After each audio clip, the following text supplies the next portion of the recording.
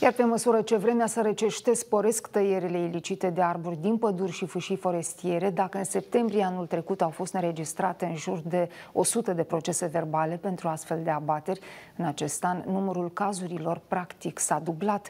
Potrivit specialiștilor, cel mai des defrișările se fac în scopul comercializării ilegale a lemnului. Totodată, șeful Inspectoratului de Mediu se plânge că duce lipsă de angajați care ar monitoriza situația, iar pentru a păstra pădurile intacte a fost elaborat un nou cod silvic.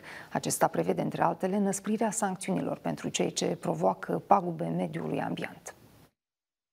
În luna septembrie, în ocolul silvic din Bozeni au fost depistate 371 de tăieri ilicite.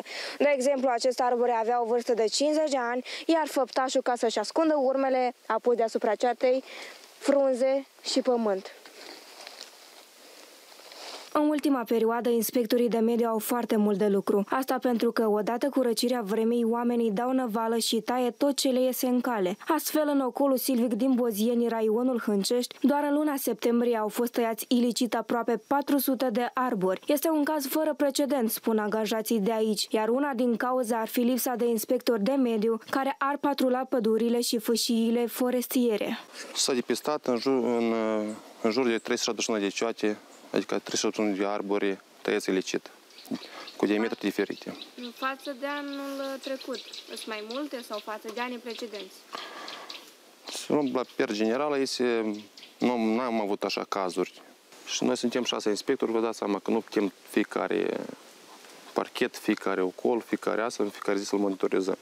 Și asta și-a jucat și rolul la la făptași. Potrivit lui Vasile Moraru, prejudiciul cauzat în urma defrișărilor ilicite este de peste 60.000 de lei. Și mai grav este că pentru a transporta lemnul tăiat, făptașii și-au făcut și un drum prin pădure pentru mașină. Cu mașina să încarce mai ușor lemnul tăiat ilicit, a făcut drum, a tăiat tot arbor, arborii și arbuștii, frunzișul a lăsat, crengile cele mai mici, care nu poate să le folosească la vânzări, la foc, nu sunt interesați, se vede că nu așa de mult a fost tăiat.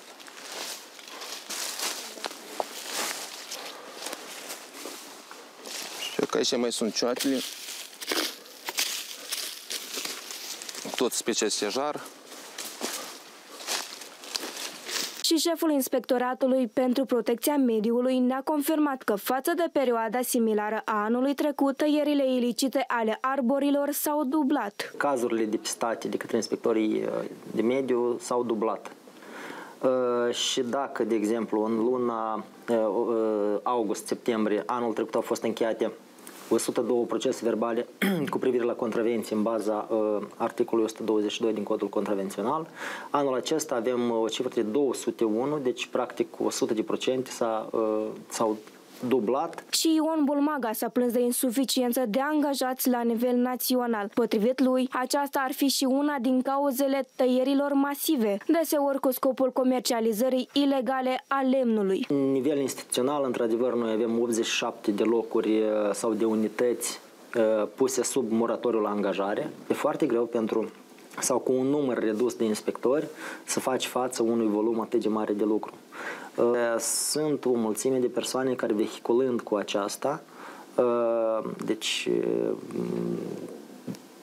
duc la aceste tăieri sau efectuează aceste tăieri în scopul însușirii masei lemnoase și comercializării acest, acestea către persoanele terțe. Iar pentru a ține situația sub control, Ministerul Mediului a elaborat un nou cod silvic care prevede înăsprirea pedepsilor pentru cei care vor tăia arbori ilicit. Documentul urmează să fie aprobat de guvern, după care să ajungă pe masa deputaților pentru a fi votat acele persoane care uh, își însușesc ilicit masa lemnoasă în scopul comercializării să fie atrași la răspundere penală.